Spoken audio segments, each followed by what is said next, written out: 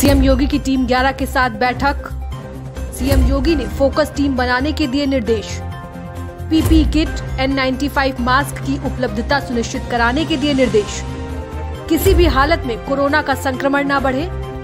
बैठक में सीएम ने अधिकारियों को दिए निर्देश।